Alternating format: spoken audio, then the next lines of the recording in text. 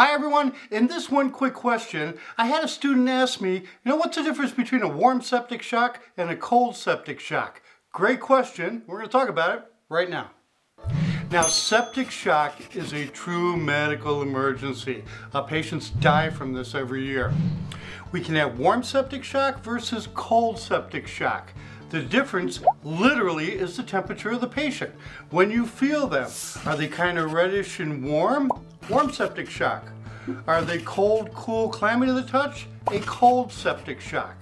Now, a warm septic shock is caused because there is profound vasodilation in the periphery. So you got these big fat vessels carrying warm blood and they feel warm on the outside.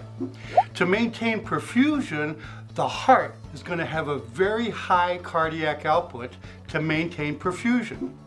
And this is what we mostly see in adults. You're mostly going to see warm septic shock.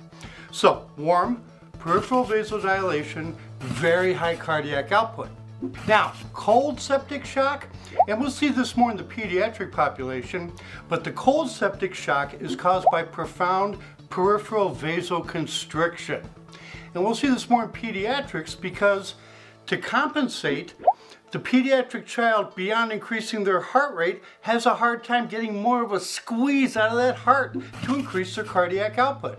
So beyond tachycardia, the younger they get, the harder it is to get more squeeze out of that heart.